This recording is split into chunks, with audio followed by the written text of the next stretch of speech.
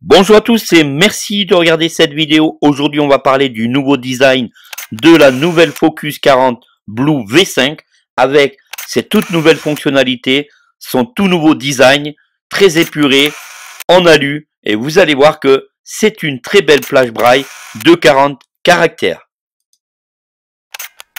La Focus 40 Blue V5, un tout nouveau design.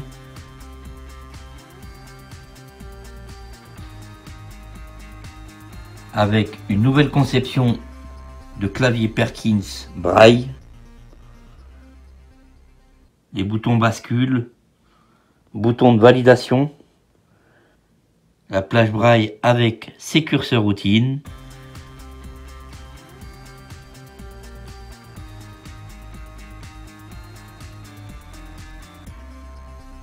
Focus 40 Blue V5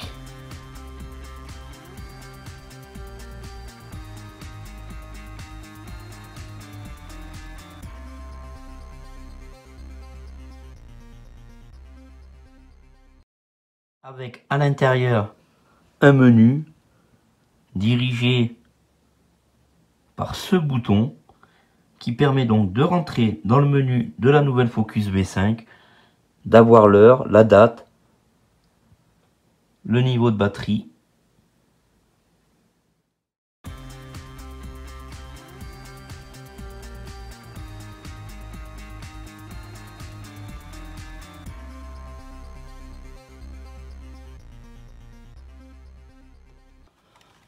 Voilà donc la Focus 40, nouvelle génération, la V5, compatibilité Android, Windows, macOS, iOS. Donc toutes les plateformes sont compatibles à cette plage braille.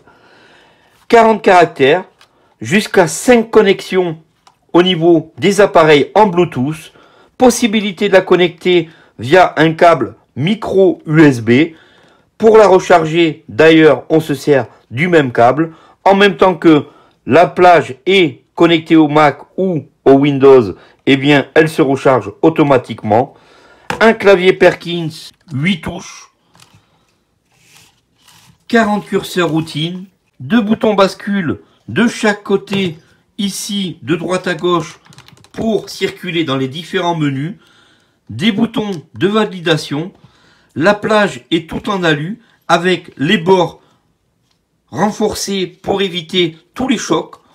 Dessous, on trouve donc des pieds caoutchoutés pour éviter le glissement. Ici, vous pouvez voir, elle est très stable pour éviter le glissement sur n'importe quelle surface. En façade, lorsqu'on positionne nos doigts sur la barrette braille, des boutons poussoirs pour avancer, reculer, avoir les touches de contrôle, contrôle, mage.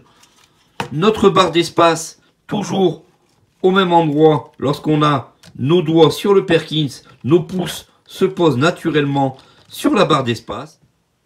Alors, cette focus, pour qui Pourquoi? Elle est dédiée énormément pour les étudiants, de par sa portabilité, de par ses différentes connexions jusqu'à 5 appareils en connexion Bluetooth en 3.0. Une connexion USB en 2.0, beaucoup prisée par les standardistes au niveau de leur poste de travail et de tout type de personnes qui veulent gérer tout type de plateforme avec leur appareil. La Focus est bien sûr compatible JAWS et NVDA et elle a différentes fonctionnalités. La très grande particularité sur cette nouvelle génération, c'est que entre le clavier Perkins, donc entre le point 1 et le point 4, on a un bouton de menu qui va nous permettre de rentrer dans un menu spécifique, ce qu'on n'avait pas avant sur l'ancienne génération, où on aura la possibilité de gérer un calendrier, gérer les connexions Bluetooth, à l'horloge, et pour gérer la mise à jour de la plage braille, etc. Donc, une possibilité avec un système s'appelant VariBraille de gérer la tension des points. On va pouvoir jouer donc sur la robustesse des points, donc plus ou moins arrondir ou appointer le braille. Très bonne solution par rapport à certains braillistes Certaines personnes braillistes aiment les points ronds, d'autres aiment le point saillant. Donc on a une possibilité, cette option Vari Braille, de jouer sur l'intensité des points braille. On a une possibilité d'affichage de l'heure et de la date pour les personnes qui arrivent et qui ne connaissent pas la technologie des plages braille. Le clavier braille, le clavier que l'on appelle Perkins, et pour les personnes non voyantes, la possibilité de simuler les 105 touches d'un clavier d'une personne voyante AZERTY. Grâce à ces 8 points, simulation des 105 touches du clavier AZERTY. Ce qui est vraiment donc une très grande prouesse par rapport au plage braille d'aujourd'hui. Toutes les combinaisons de touches de type raccourci clavier Windows avec JAWS sont possibles.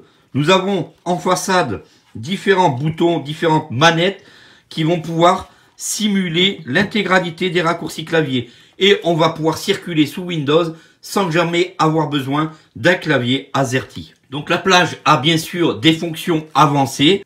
Possibilité de bloquer le clavier Perkins et de se servir que du braille. On va pouvoir travailler sur tout type de documents. Documents Word, Docs, documents Excel, XLS, TXT, navigation Internet, et lorsque je parle de navigation Internet, navigation sur Safari, sans aucun problème, ainsi que navigation sur tout type de système smartphone, iOS et Android. Une possibilité de se mettre en mode étude du braille. Je vais vous la connecter par exemple sur un système Android. Vous allez voir que la connexion est très rapide.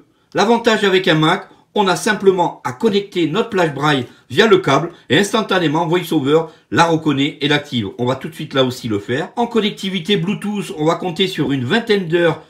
Pas de possibilité de changer sa batterie soi-même. Il va falloir donc passer par l'atelier. La plage braille est tout en alu, contrairement à la V2 qui était toute plastifiée. Donc on a quelque chose de très solide. On va tout de suite passer à l'appairage Bluetooth sur un système Android et ensuite passer en câble sur un système Mac. Merci de regarder cette vidéo jusqu'à maintenant. J'espère qu'elle vous montre un petit peu les nouvelles technologies pour les personnes aveugles et malvoyantes. C'est sur ma chaîne. Donc n'hésitez pas à vous abonner à la chaîne pour continuer à suivre toutes ces nouvelles technologies.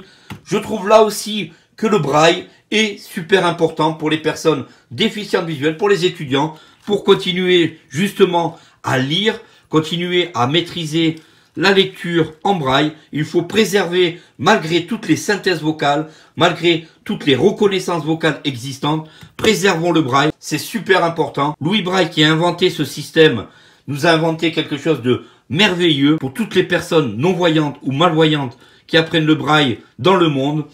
Donc, pensons vraiment à préserver cet outil.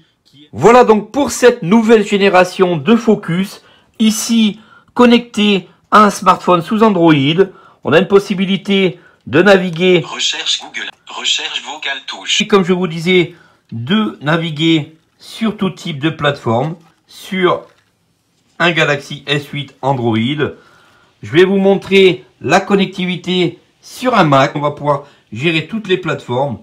Merci d'avoir regardé cette vidéo jusqu'au bout. Je vous dis donc à bientôt pour la prochaine vidéo. J'espère que celle-ci vous a plu.